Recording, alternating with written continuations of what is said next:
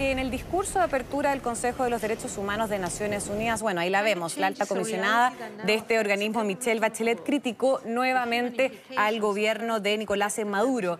La expresidenta advirtió que el espacio democrático en Venezuela puede disminuir aún más eh, y criticó directamente al Ejecutivo, a Nicolás Maduro, por no detener las ejecuciones eh, extrajudiciales. Según Bachelet, se trata de un informe, de una información actualizada y bien documentada sobre la situación eh, en Venezuela y más que nada sobre los abusos eh, por parte de las fuerzas eh, de seguridad. Por ejemplo, que dijo Bachelet en este informe, en este discurso digo, las críticas incluyeron acusaciones por casos de tortura o malos tratos, tanto físicos como psicológicos, a personas que principalmente están arbitrariamente, están privadas en libertad, en particular, sobre todo militares. De hecho, también lamentó que el gobierno venezolano no ha mostrado ninguna voluntad, como ella le solicitó hace unos meses, de disolver las fuerzas especiales de la Policía Nacional, que son más conocidas como las FAES, que son eh, justamente esta policía se le atribuyen estas ejecuciones extrajudiciales y al contrario acusa a Maduro de haber optado por reafirmar eh, su apoyo eh, a esta entidad. Y también hizo referencia a la información recibida por la ONG eh, Monitor de Víctimas que revelan 57 nuevos casos de presuntas ejecuciones extrajudiciales cometidas solo en el mes de julio en la ciudad de, Caracas. Ahora, qué importante que ella siga pendiente de la situación de Venezuela, porque tanto que se le pidió ir, eh, hacerse presente, llegó de alguna manera a algún acuerdo con Nicolás Maduro, pero definitivamente la supervisión posterior también es relevante. No se ha olvidado y esto también debería ser como una especie de pulga en la oreja para Nicolás Maduro para que de alguna manera también tengan una, respuesta favorable también, que es lo que esperan los venezolanos.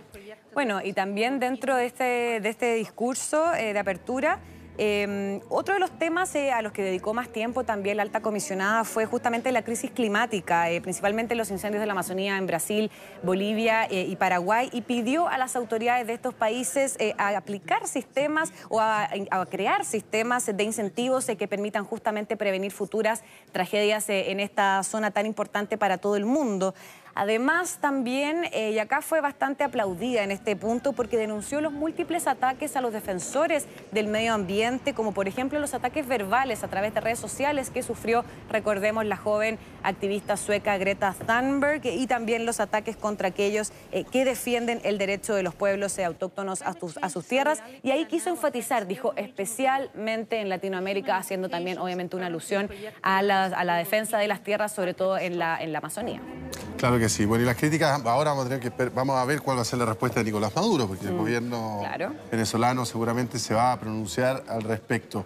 Y las FAES, básicamente, para que nuestros televidentes, más o menos, para hacérsela fácil, funcionan como una policía política. Claro. Básicamente, van deteniendo personas, eh, las interrogan, les quitan la libertad, hay algunas que derechamente las torturan, otras que son ajusticiadas.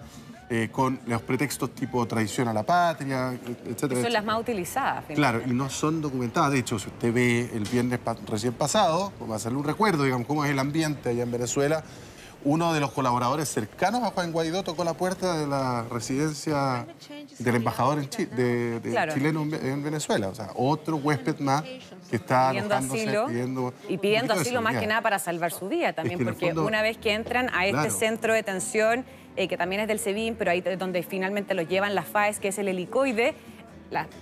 Los detenidos ingresan, pero no saben cuándo van a salir y no saben si es que van a salir y en qué condiciones van a salir. Entonces es una situación muy dramática, o sea, hay que tener un temor tan grande como para ir a tocar la puerta y mm. pedir asilo.